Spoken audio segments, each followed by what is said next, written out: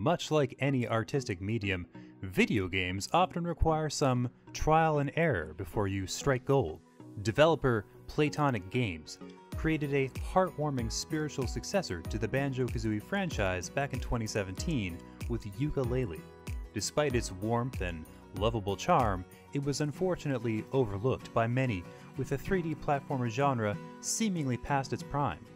Not one to give up on their beloved duo, Playtonic went back to the drawing board and emerged with Yooka-Laylee and the Impossible Lair. And this, my friends, not only manages to strike gold, but hit a nice pocket of oil as well. Yooka-Laylee and the Impossible Lair brings back many of the beloved characters from the first game who will gladly drop little nods to their previous adventure without bogging down the sequel's narrative in former plot lines you may not know. Capital B is at it again, trying to take over the land. This time, he has invented a mind control device to place all of the bees under his command. Queen Phoebe has asked you to stop Capital B and smash his device, but the nefarious foe is hiding inside the Impossible Lair, a dungeon he is so confident is so unbeatable that the front door has been left unlocked. You'll be able to tackle the Impossible Lair as soon as the game begins. If you manage to beat it that fast, then kudos to you. The lair consists of challenges and puzzles featured in every chapter across the game, and completing a chapter will free one of the Battalion, the members of the Royal Guard. Each Battalion will act as an additional hit point while tackling the impossible lair, so be sure to load up on those bees. Chapters are beautifully designed with just the right level of progressive challenge. Nothing feels insurmountable or devastatingly impossible, and since you have unlimited lives and no time limit, the game truly encourages you to take your time and plan out your next move. Each stage is littered with hidden areas and collectibles to find, not to mention the vibrant colors and nostalgic side-scrolling perspective makes for an overwhelmingly enjoyable package. Each chapter can also be modified in the overworld to create a new variant of the stage.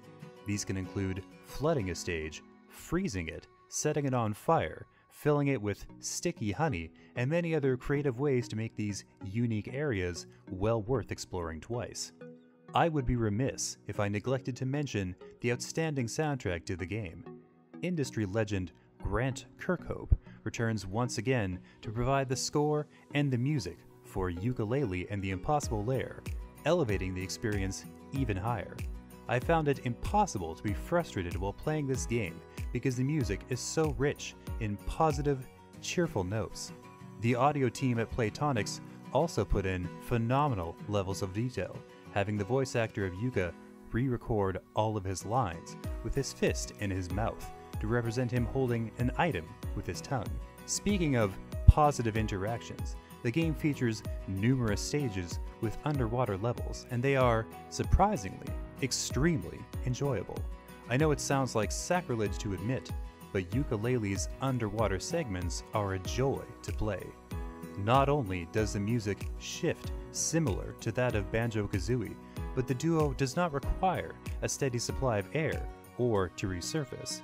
Swimming handles like a dream, and it controls just as easily as wandering through the grass.